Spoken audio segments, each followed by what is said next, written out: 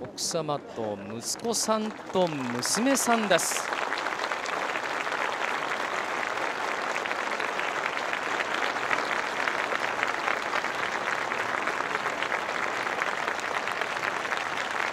長い間友野選手を支えてくれました。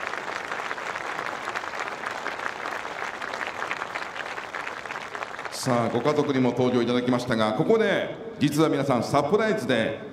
ご長男智春君が手紙を書いてくれております。よろしくお願いします。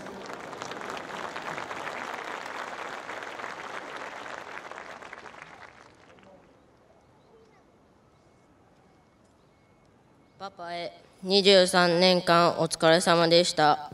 僕はパパの試合を見に行ったり家でもいつもパパの日本代表の時の試合やプレー集を何度も何度も見てきて両足から繰り出される精度が高いクロスとサイドを駆け上がる姿が大好きです。だからパパパが引退すると聞いた時は涙が出ました。パパは僕の一番の憧れのサッカー選手だからです。僕がパパから一番よく言われたことは僕がサッカーの試合でミスをして消極的になった時に失敗しても立ち上がって次に向けて努力をしなさいと言われました。何度失敗しても立ち上がって練習してパパみたいな努力するサッカー選手になりたいです。パパのサッカー人生は誰も経験したことのないサッカー人生で誰よりもたくさん嬉しいことも辛いことも乗り越えてきたからこそ今までのピッチに立ち続けることができていたと考えると本当にすごいなと改めて感じました。だけど本当は幼稚園生の頃からパパと離れて暮らして寂しかったです。これからはパパと一緒にたくさんサッカーしたり日本で2人で旅行に行ったり自転車に乗って公園に行ったりしたいです。最後に僕の憧れのサッカー選手駒野由依選手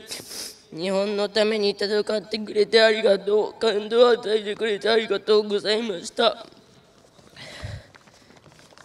今治の皆さん日本の皆さん駒野由長を忘れないでください。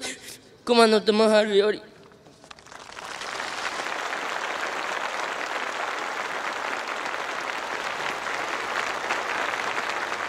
手紙にありましたように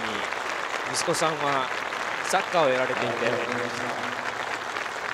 は続いて花束が贈られます。駒野選手はセカンドキャリアとして次は子どもたちに指導したい、まあ、育成年代への指導への気持ちがではご家族で息子を通して芽生えたそうです。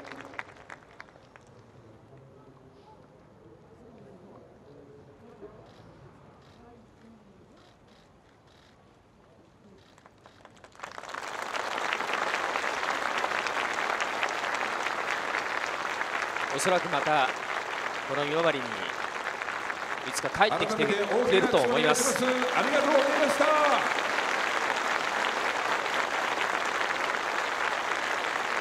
40歳を超えてもなおも現役で居続けた鉄人レジェンド駒野雄一。